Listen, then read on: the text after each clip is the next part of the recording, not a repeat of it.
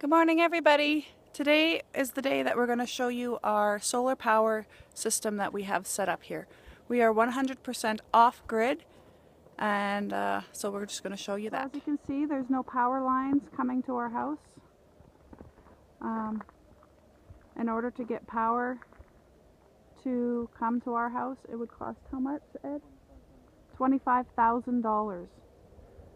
Um, when I met my husband he already had the system set up and so we just decided to build on it. So that's our yard coming in. There's no power lines coming in. So these are our solar pa panels that we have and then there's just one behind there. So do you want to tell them? We have about 3,000 watts of panels. They were bought over a number of years. Some of them we bought used, and as we had money, we just added to them. Um, the ones that are on the building are stronger, are stronger. 250 watt panels. And the ones here are? The small ones are 75 watt panels, and the bigger ones are 100 watt panels. There's a set behind there that is on an old mount that's 175 watt panels. We just added as we had money. Yeah, and do we have to add more panels?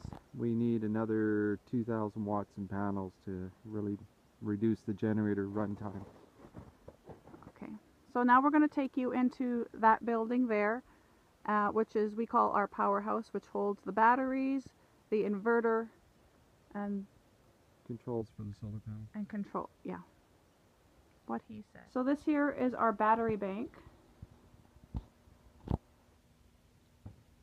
And we got uh, two sets of batteries here. We're these are Surrette S530s. They're about 400 something amp hours. They give us a, if they were brand new, we have about two days of power with them. Uh, they're getting kind of worn out right now. we're we're needing to upgrade our battery bank, but that's just what we have right now. Is there batteries in that? No, in there's that no one? batteries in the other one. Um, batteries only last about seven years if they're looked after, so okay. you have to replace them every seven And do you years. want to talk about the maintenance of batteries? Every month, uh, this type of battery, we have to add water to it, and has to be distilled water, right? Has to be distilled water, and we have to make sure it gets an equalized charge, which means we overcharge it. And I also have a little meter that I go along and I test each individual cell on the batteries to make sure they're all working properly, because sometimes they're, they're like buckets filling with water. They don't always fill evenly, and you have to uh, make adjustments and be aware of it. So this is the inverter. Now you tell what the inverter does. This takes our 24 volt battery power and converts it to 120 to 40 volt power for our well pump in our house.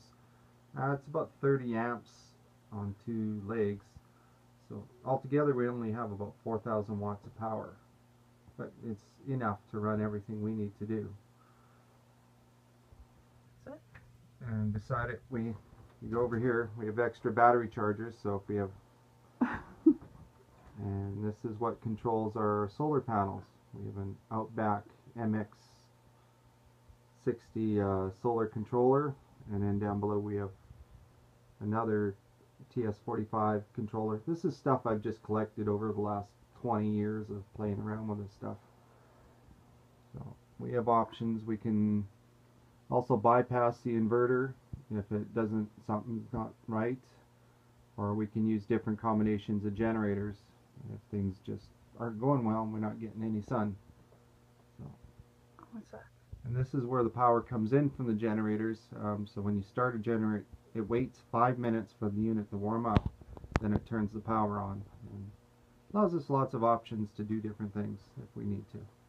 Okay, and this is the only thing in the whole room that I know about which tells you how much power you have. So right now we have, oh that's the volts. Okay, so he's going to explain it. This gives you the voltage right now of the batteries. This tells me whether I'm charging. The little red light's on telling me, telling me the solar panels are charging. This tells me how much capacity is in the battery And charge to equalize is what that little thing means. So we have a hundred percent full battery right now. Yeah.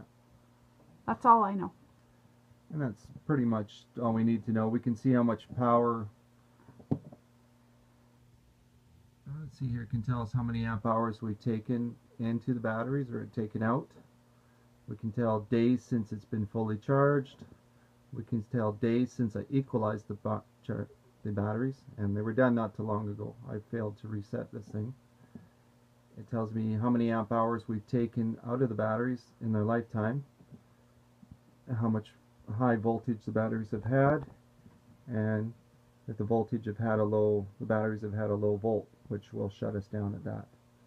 Does this thing matter? That's just the automatic generator start. I built that when So this is no longer in operation. it's no longer in operation for now. Okay, so we're gonna take you now to where we have the generator. This is an old Waukesha generator, four cylinder, natural gas. Um, I used to operate it 20 years ago when I was in another place. Um, it burns about the same amount of gas as a 100,000 BTU furnace, but the ability of it is it does everything we need to do. It can charge batteries, around the house, and it will last about 25,000 hours if we keep oil and look after it. Parts are expensive, but it was worth every penny.